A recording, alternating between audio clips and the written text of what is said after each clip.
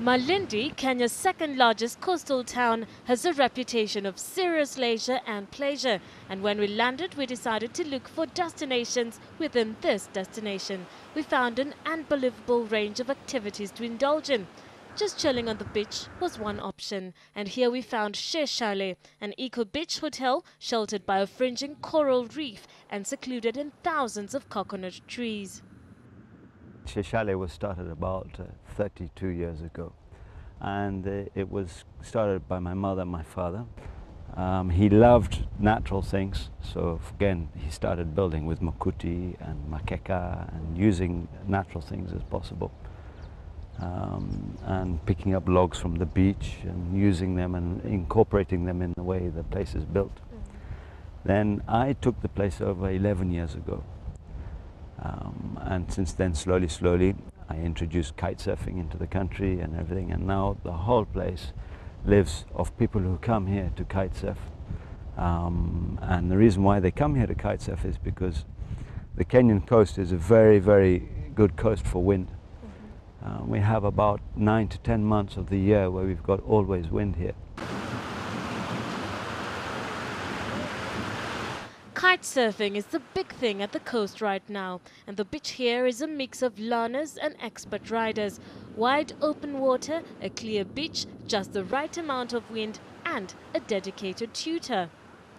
First lesson, we start to fly small, small kites, and then uh, step by step, we just increase the size of the kite till uh, the size which is uh, enough for your body weight and uh, just for to be able to feel enough power in the water.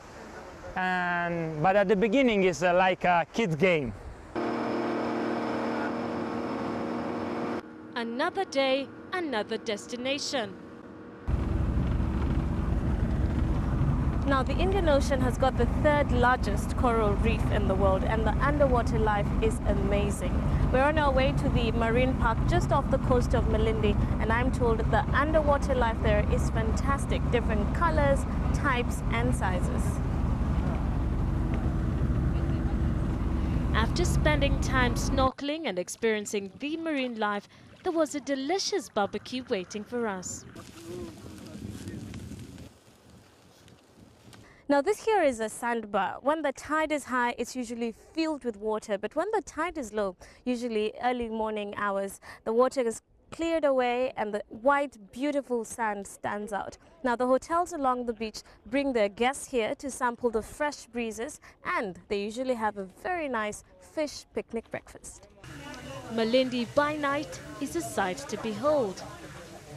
Now, Malindi is famous for several interesting things. It's actually called the Las Vegas of Kenya. And being right next to the sea, the seafood is amazing. Back there is the sushi bar. Let's find out just how good the sushi is. The exotic sushi bar at Kisina Malindi is a floating restaurant. We crossed the Japanese bridge and a pond of lilies to step into a world of oriental hospitality.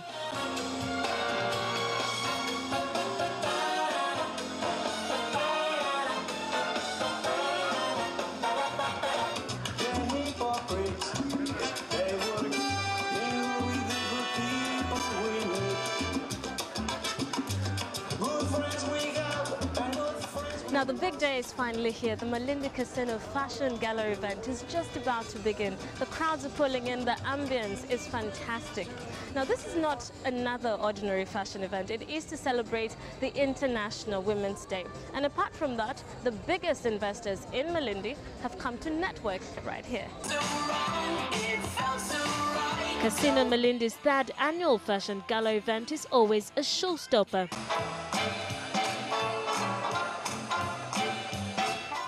Beautiful open skies. The glamorous event attracted an eager audience, and Kenyan and international designers showcased collections that had a strong ethnic mix.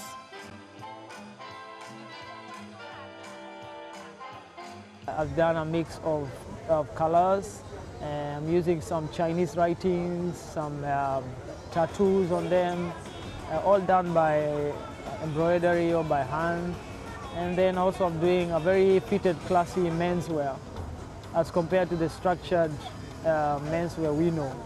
So I've done a lot of jackets that are fitted, slim pants, and for the ladies I'm just doing some loose pants with a corset. So it's basically adapting the corset uh, in very uh, different ways.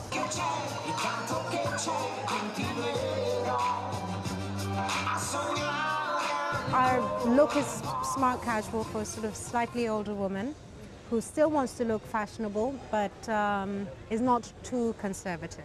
She still wants to stand out. She still wants to look special. Uh, we have a number of events at Casino Malindi, but the fashion show is definitely one of the big ones. Uh, what it's about, beside the celebration of people and their fashion, is really a great opportunity to showcase some of the materials and available in Kenya and all of the immense talent. Um, you can see from some of the props that were on the stage that are made from Kenyan mahogany and Kenyan hides. And it's a great way to, to show what we have to offer here. And what better setting than the Indian Ocean and La Grilla restaurant behind Casino Malindi. Now, this fashion show was to celebrate women in fashion, or fashionistas as they like to call them.